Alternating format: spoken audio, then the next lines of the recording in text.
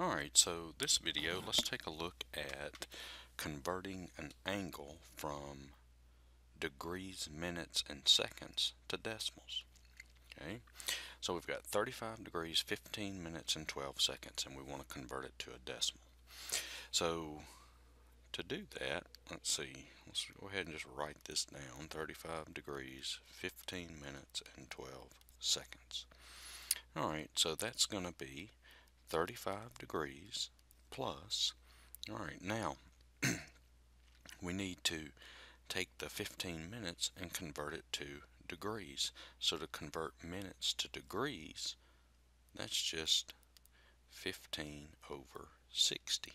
We divide the 15 by 60 and that'll turn it to degrees plus and then the 12 seconds, converting it to degrees, that's going to be 12 divided by, and to go from seconds to, to degrees, divide that by 3600, and that will be degrees.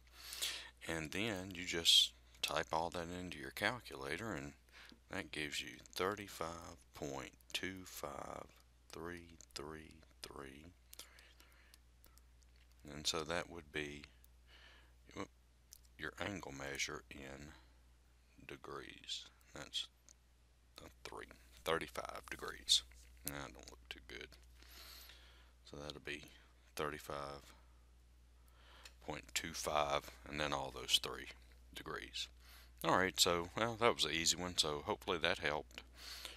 Alright, uh, don't forget to like and subscribe. Alright, thanks.